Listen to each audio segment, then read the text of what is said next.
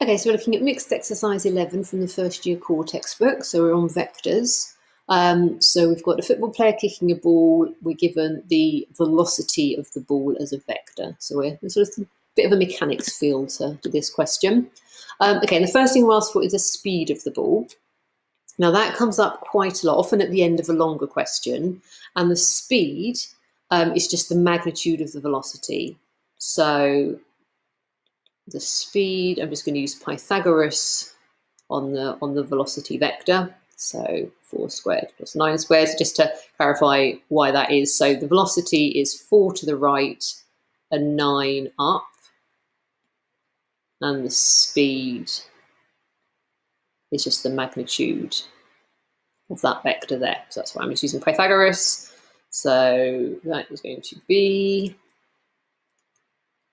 uh, Root 97.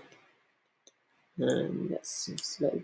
Let's go to three significant figures. So I'm getting that as 9.85, assuming it's meters per second. Yeah, meters per second. Um, find the distance of the ball from A after six seconds. Um, okay, so we could, um, let's do the what should we do? Let's do the displacement. So I'm just reading this question a bit more carefully. Um, what is it traveling with a constant velocity? No, so it's a constant velocity, so it's going to be a constant speed. So let's not overcomplicate things. Let's just use, um, so a lot of you I know would have used um, speed distance times triangles before.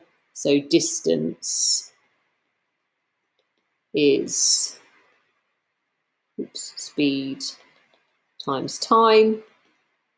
So in fact, I've still got the exact answer to the previous, to the speed on my calculator, so I just won't clear that. Um, it's in meters per second and the time is in seconds, so that's absolutely fine. So that's coming out as 59.1 meters. Um, and then comment of the validity of this model for large values of t. Okay, so this type of question comes up a lot um, you know, not just in vectors, but in any any sort of real life question. And um, it's just unlikely, well, unlikely slash impossible that the ball will travel with that constant velocity over a large period of time. Um, so, you know, things like air resistance are going to slow it down. It's um, friction from the grass. It might hit a lump. Another player might intersect it. It's it's just highly unlikely. Highly unlikely and, and not possible that it would travel with that constant velocity forever.